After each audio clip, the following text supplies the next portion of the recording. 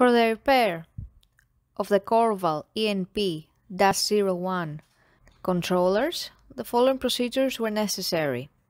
Replacement of various electronic components and general cleanup of the units.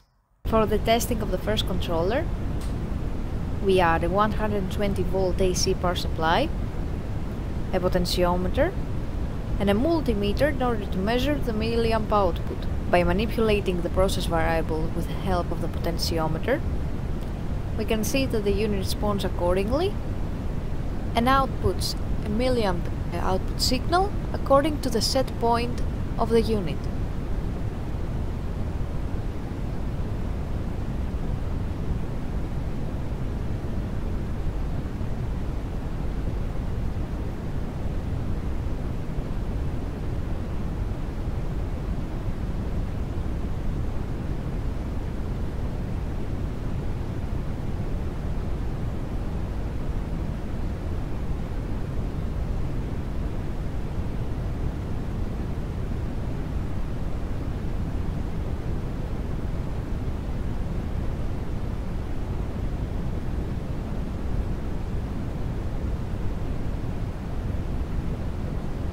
For the testing of the second controller, we add a 4 to 20 milliamp input signal and 120 volt AC power supply and a multimeter in order to measure the milliamp output. By manipulating the 4 to 20 milliamp input signal, the unit responds according to the set point and outputs the milliamp output signal.